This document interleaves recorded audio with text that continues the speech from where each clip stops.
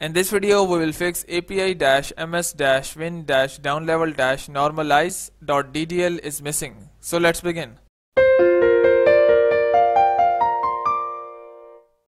So to solve the error of downlevel normalize.ddl file missing in Windows, what you have to do is just go in the description and there will be a link, just go and click on that.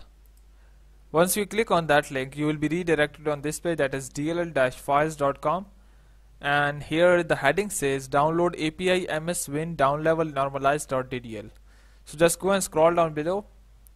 In here just go and download this one version and just click on the download and the download of the DDL file will start. So download will start in few moments. So here we have the downloaded file. Once the download is complete, first you have to make sure what type of system you have is it 32 bit or 64 bit? For that just go to your this PC right click it and click on properties. And here against the system type you can see that we have 64 bit operating system and 64 bit processor.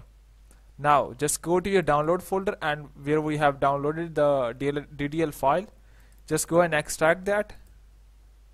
Click OK. So here we have the extracted file. Just go and open the file. Copy the DLL file. Copy it. Go to your this PC go to local disk C go to Windows.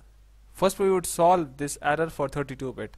For 32 bit just go to your scroll down below and search for system 32 so we have system 32 here.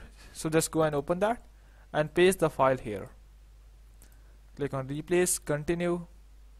So go back. We have solved the system for 32 bit. Now we would solve the system for 64 bit for 64 bit first you have to search for syswow64 so here we have syswow64 just go and open that. Paste the DLL file here. Click on continue. Go back. Now again go to system32 open the system32 and paste the DLL file uh, here also. So we have solved the system for 64 bit in the case of 64-bit system, we have to paste the DLL file in both folders, in syswow64 as well as in system32. So in this video, we have solved the error for 32-bit as well as 64-bit. If you still have any confusion, just comment down below. I will try to answer that. But before you go, please subscribe, like and share. Thank you.